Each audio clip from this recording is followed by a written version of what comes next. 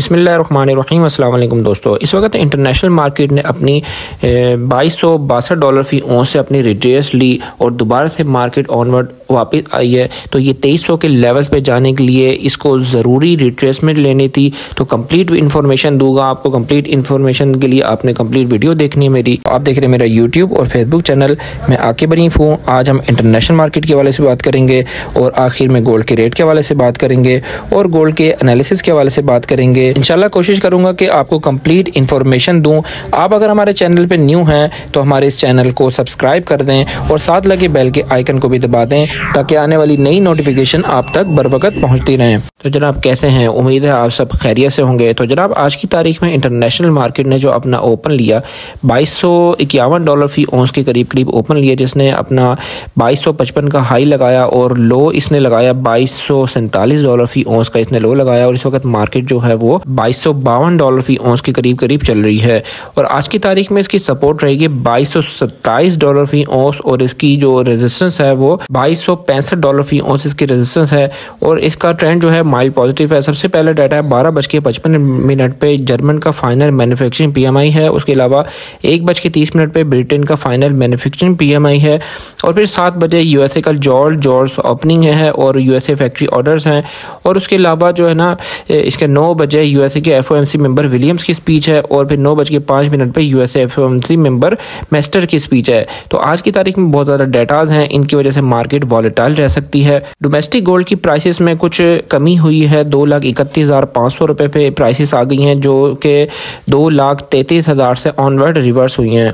मैंने आपको अपनी प्रीवियस वीडियो में भी मैंने आपको बताया था कि मार्केट अपना रिट्रेस लेती है। जब भी मार्केट अपना अपना हाई लगाती है एक पीक लगाती है उसके बाद मार्केट का रिट्रेस लेना लाजमी होता है। अच्छा इसका तेईस सौ पे जाने के बारे में एक्सपर्ट्स काफ़ी सारे यही का, सब एक्सपर्ट्स का यही कहना था कि ये तेईस सौ के लेवल को भी ब्रेक करेगी। कुछ का ये कहना है कि बाईस सौ और छब्बीस सौ के लेवल्स को ब्रेक करेगी। तो इस वक्त तेईस सौ का जो लेवल था वो बहुत ज़्यादा इंपॉर्टेंट था कि इसको ब्रेक करती है कि नहीं। तो मार्केट ने अपना रिट्रेस जो बनता था ना मार्केट ने रिट्रेस ली है। तो जैसा कि मार्केट के अपनी ऑनवर्ड जो एक पोजीशन होती है, इसने अपनी रिट्रेस ली। मार्केट ऑनवर्ड वापस आई है दो बाईस सौ बत्तीस डॉलर फ़ी औंस की इसने रिट्रेस ली है और मार्केट अपना दोबारा से ऊपर आ गई है twelve, twenty two, fifty three पे इस वक्त मार्केट चल रही है। तो ये ज़रूरी था कि इसको तेईस सौ की हद को ब्रेक करने के लिए बहुत ज़रूरी था, तेईस सौ का लेवल्स को। आज या कल में आपको नज़र आएगा कि तेईस सौ के लेवल को मार्केट जो है ना ब्रेक करेगी। जशन के हवाले से मैं आपको बताता चलूँ कि इस वक्त मार्केट ने, हमारी डोमेस्टिक मार्केट की बात कर रहा हूँ, मार्केट ने कुछ रोल बैक लिया है, पंद्रह सौ रुपये की डिप है तो इसको अवेल करना चाहिए, यहाँ पर गोल्ड को परचेज़ करना चाहिए। मेरा यही अंदाज़ा है कि जो गोल्ड है वो मज़ीद ऊपर जाएगा। हमेशा जब भी गोल्ड महँगा हो रहा होता है तो ऑनवर्ड ऊपर की तरफ़ नहीं जाता है। मार्केट अपनी एक रोल बैक ज़रूर लेती है। ये अपने जहन में रखना है आपने। अच्छा ये जो सारी मैंने बातें बताई हैं, ये उन लोगों के लिए हैं जो डेली बेसिस पे लेन देन करते हैं, ठीक है?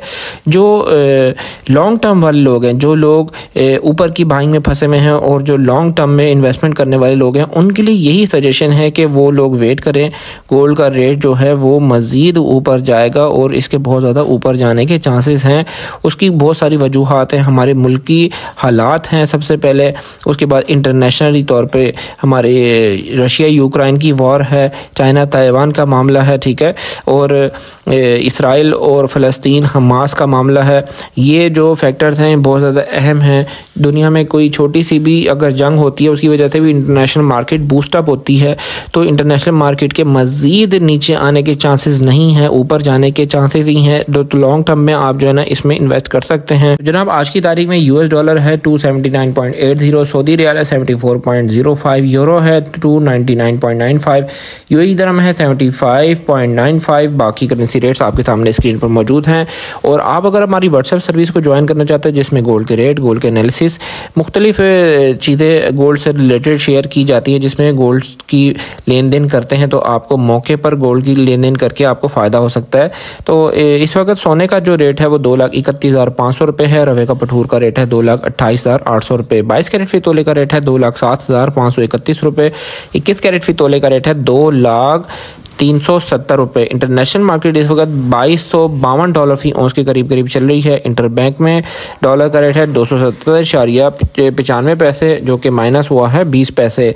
ओपन मार्केट में डॉलर का रेट है दो सौ अस्सी इशारिया पच्चीस पैसे। चांदी का फ़ी तोला रेट है पच्चीस सौ पचास रुपये फ़ी तोला। इस वक्त पिशावर में पक्के तोले का रेट है दो लाख अट्ठतीस हज़ार आठ सौ रुपये पक्के तोले का वज़न होता है बारह ग्राम एक सौ पचास मिली। उम्मीद करता हूँ वीडियो आपको अच्छी लगी होगी तो इस वीडियो को लाइक ज़रूर कीजिएगा, चैनल को सब्सक्राइब कीजिएगा। फिर मिलते हैं नेक्स्ट किसी अच्छी वीडियो में। टेक केयर अल्लाह हाफिज़।